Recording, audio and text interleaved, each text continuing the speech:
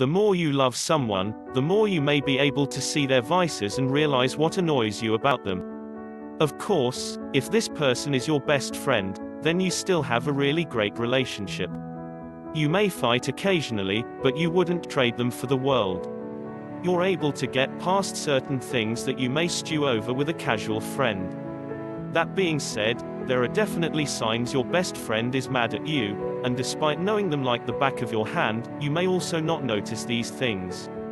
Here are 7 signs to tell if your best friend is still angry with you, so that you can officially resolve the mess. And we are starting, right now.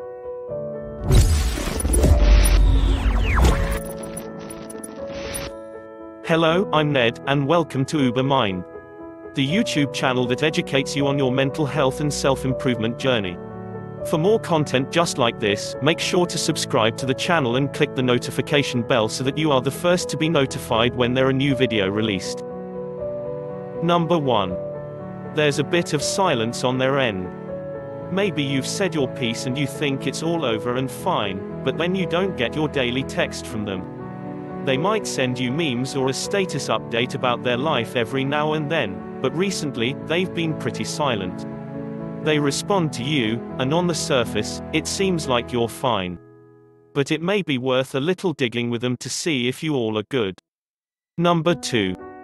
There are one worded responses.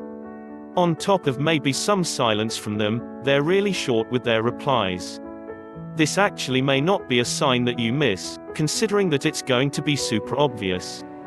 It could be nothing, maybe they're just really busy or didn't feel like they needed a longer reply, which is super valid.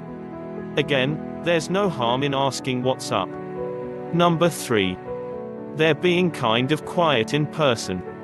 If you see each other often, it's definitely worth it to see how they act in person. Texting is difficult to gauge someone's tone or behavior, especially if you suspect that they're angry at you. Your mind may put an attitude in a text when there really isn't anything there.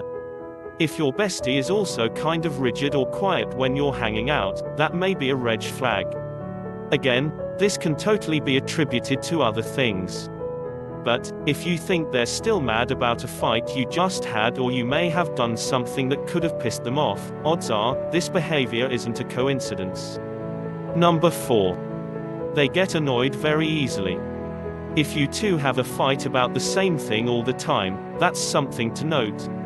Obviously, there's some underlying tension about something in particular that you both need to resolve.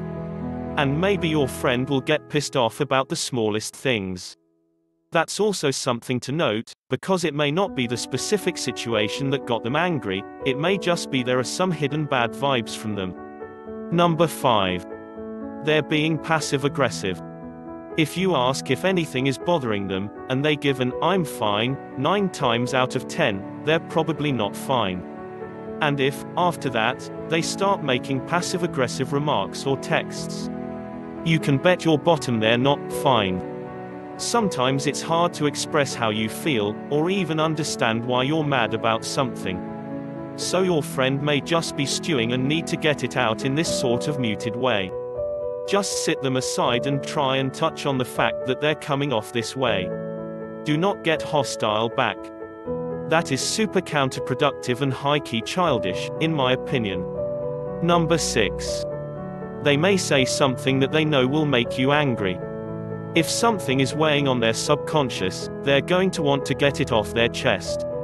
However, it may come in a less than productive way. Just like you know all of their buttons, they know yours, and will push them if they feel they need to. Of course, they're not doing it to be vindictive, but they may say something they know will piss you off. Try not to fall for it, although that's easier said than done. Just brush it off and don't get angry back. Number 7.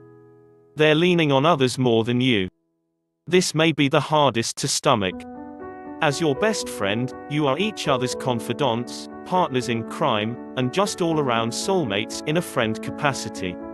You know everything about anything they've been through, and let's face it, you give the best advice. So, what happens when your best friend starts going to other people for that support and love? Well, your Mayday, Mayday alerts may be going off. Don't freak out. You're both allowed to have other friends. Jealousy is not something you're playing with here.